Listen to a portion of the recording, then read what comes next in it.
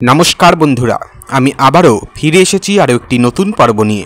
আজকের পর্বে আমি আলোচনা করতে চলেছি তিনটি গুণ নিয়ে। হ্যাঁ যে মানুষের মধ্যে এই তিনটি গুণ আছে, শত বিপদেও ভগবান ঠিক তাকে রক্ষা করবেন। কী সেই তিনটি গুণ এবং কী তার মাহাত্ম্য তা নিয়ে বিস্তারিত আলোচনা করব আজকের পর্বে।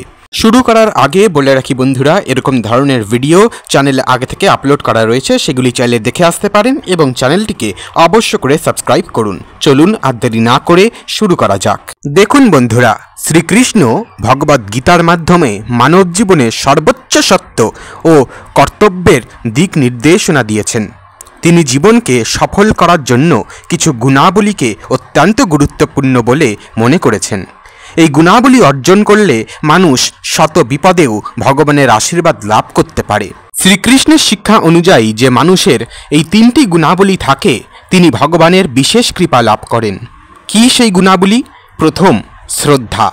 শ্রদ্ধা হল ঈশ্বরের প্রতি অগাধ বিশ্বাস ও ভক্তি, যিনি ঈশ্বরকে সর্বশক্তিমান ও সর্বজ্ঞানী মনে করে। তিনি সত্যিকারের শ্রদ্ধাশীল। শ্রদ্ধা মানুষকে সঠিক পথে পরিচালিত করে এবং জীবনের সমস্ত সমস্যার সমাধান ঘটায়।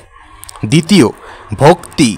ভক্তি হল ঈশ্বরের প্রতি অবিচল ভক্তি বা ভক্তি রসে ডুবে থাকা।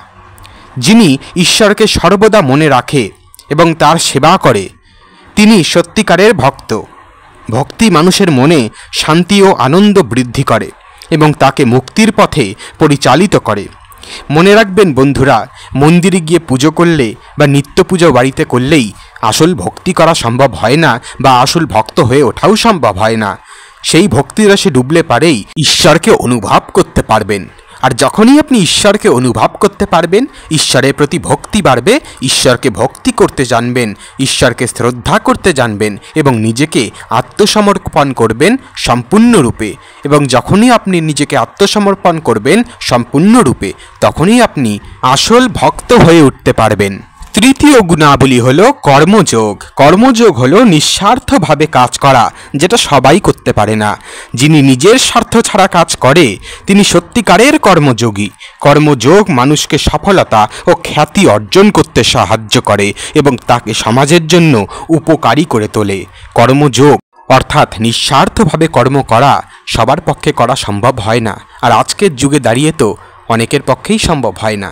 শত বিপদেও ভগবানের রক্ষা। শ্রীকৃষ্ণ বলেছেন যে, যার মনে এই তিনটি গুণাবলী থাকে, তিনি শত বিপদেও ভগবানের রক্ষা পান।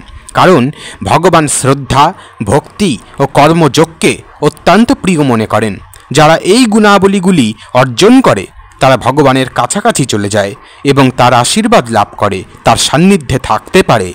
শ্রীকৃষ্ণের শিক্ষা থেকে আমরা বুঝতে পারি যে মানুষের জীবনে সফল করার জন্য শ্রদ্ধা, ভক্তি ও কর্মযোগ অত্যন্ত গুরুত্বপূর্ণ। এই গুণাবলীগুলি অর্জন করলে মানুষ শত বিপদেও ভগবানের রক্ষা পায় এবং জীবনকে সার্থক করে তোলে। তাই আমাদের উচিত এই গুণাবলীগুলি জীবনে গ্রহণ করা এবং ভগবানের আশীর্বাদ লাভ করা। শ্রদ্ধা এমনিভাবে প্রয়োগ করা যায় না। নিজের অন্তর থেকে প্রয়োগ করা হয় বা করতে হয়। শ্রদ্ধা প্রয়োগ করার জন্য আমাদের ঈশ্বরের প্রতি অগাধ বিশ্বাস রাখতে হবে। আমাদের বিশ্বাস করতে হবে যে ঈশ্বর আমাদের সর্বোত্তম কল্যাণ চান এবং আমাদের সাহায্য করার জন্য সর্বদা উপস্থিত থাকেন। মনে রাখবেন, আপনার কাছে যা ভালো হচ্ছে, আপনার জন্য যা ভালো হচ্ছে বা আপনার সাথে যা ভালো হচ্ছে, তা আপনার ভালোর জন্যই হচ্ছে, আপনার সাথে যা খারাপ ঘটছে, সেটাও আপনার মঙ্গলের জন্যই ঘটছে। তাই ঈশ্বরে সর্বদা বিশ্বাস রাখুন। আমরা প্রার্থনা, ধ্যান, পুজো করার মাধ্যমে ঈশ্বরের সাথে যোগাযোগ করতে পারি, অনুভব করতে পারি। আবারও, সবাই অনুভব করতে পারে না। আসল জিনিসটা আসলে ওই মনের মধ্যে রয়েছে। ঈশ্বর এমনি এমনি মন দেয়নি। বেশিরভাগ ক্ষেত্রে দেখা যায় ঈশ্বর মনে বসেই আবার মন দেখেন। এই কথার অর্থ অনেক গভীর। নিজেরাই ভেবে দেখুন। আজকের জন্য এ পর্যন্তই বন্ধুরা। দেখা হচ্ছে পরের ভিডিওতে। সকলেই ভালো থাকবেন, সুস্থ থাকবেন। চ্যানেলটিকে সাবস্ক্রাইব করবেন। বাকি ভিডিওগুলো দেখে আসবেন। ধন্যবাদ